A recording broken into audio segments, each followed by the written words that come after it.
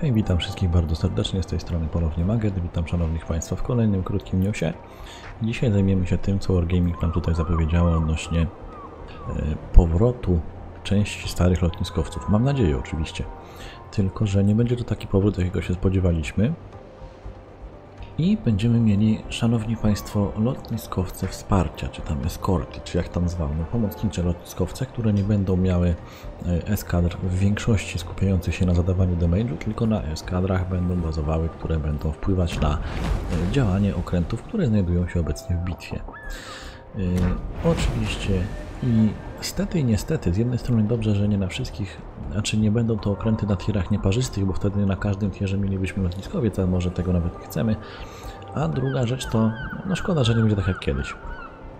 Ale e, nowe okręty zostaną wprowadzone również na tierach 6, 8 i 10 i będą dysponowały e, takim uzbrojeniem, które będzie w stanie okręt przeciwnika ogłuszyć. I teraz tak, będzie to ogłuszenie wpływało na to, że nie będą dostępne materiały, materiały eksploatacyjne, takie jak grupa naprawcza, naprawcza ratunkowa czy wytwornica dymu. I powiem Wam szczerze, że e, czy taki pomysł jest dobry? E, Tu was zapras- zapraszam Was do dyskusji na temat tego pomysłu w komentarze, żebyście wypowiedzieli się, co sądzicie na temat takiego rozwiązania. E, Ja uważam, że no nie jest to potrzebne, chociaż czytając te wstępne bardzo informacje na temat tych okrętów, to mam wrażenie, że to będą okręty, które e, będą się doskonale spisywały w dywizjonie. Oczywiście, jeżeli ktoś będzie umiał to opanować, bo to nie będzie takie proste.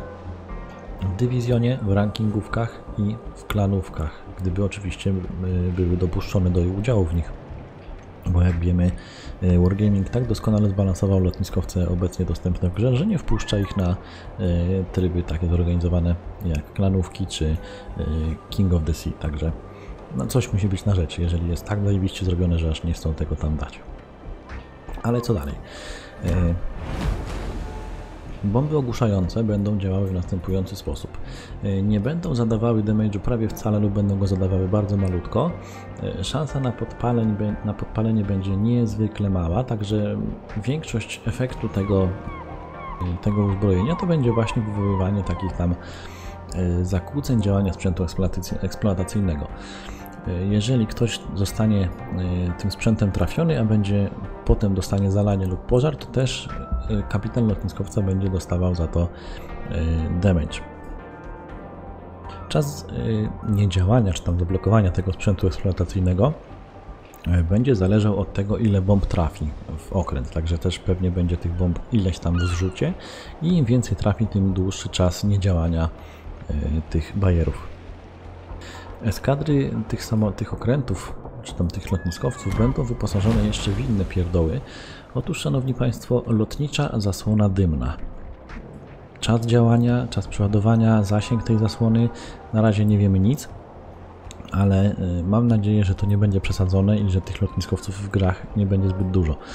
Trzeba też wziąć pod uwagę to, że ludzie mogą nie chcieć po prostu tym grać z uwagi na to, że nie będzie klepania darmowego damage'u i w ogóle nie będzie jakiegoś tam sensownego klepania damage'u, tylko będzie raczej wspieranie. Oczywiście, jeżeli Wargaming zrobi to na tyle dobrze, że e, będzie można na tym zarabiać kredyty i balansować to jakoś, jeżeli chodzi o expa, no to może będzie ok.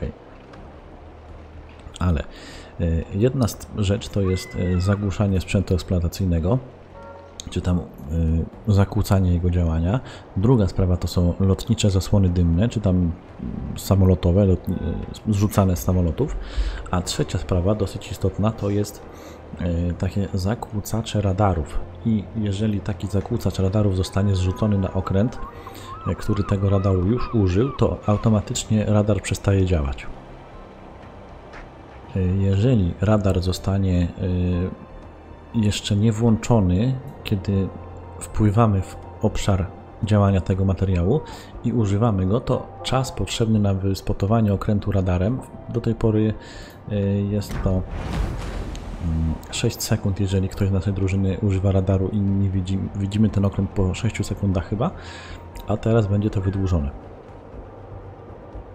Także y, w tym momencie również wydłużony będzie taki, na tej samej zasadzie będzie to działało dla okrętu, który radaru używa, nie tylko dla drużyny, ale również dla okrętu, który radaru użył, czyli wpływa sobie DES i wpływa sobie, nie wiem, tam powiedzmy ZAO, puszczamy radar. W normalnych warunkach ZAO widzi wyradarowany okręt po 6 sekundach. Teraz ZAO również będzie widziało ten okręt, przepraszam, y, DES też będzie go widział po iluś tam sekundach. Oczywiście jeszcze nie są to doprecyzowane wartości, to jest bardzo wstępny zarys, ale myślę, że nie ma raczej ratunku przed tym, żeby to nie weszło do gry w takiej wersji, jakiej mamy zapowiedziane. Możemy swój sprzeciw wyrażać dowolnie i w na niesamowicie natężonych ilościach, ale jeżeli, jeżeli Wargaming stwierdzi, że to się dobrze sprzeda, to pewnie to wciśnie. Może tam jakieś drobne zmiany w balansie, coś się tego typu pojawi, ale raczej nie zapowiada się na e, wysłuchanie opinii. Zresztą, co już wiemy dokładnie przez te 5 lat, nauczyło nas WG, że ma nasze opinie w dupie. Także e, zapraszam Was jeszcze raz do dyskusji na temat tego pomysłu. Z mojej strony wszystko, do usłyszenia i na razie.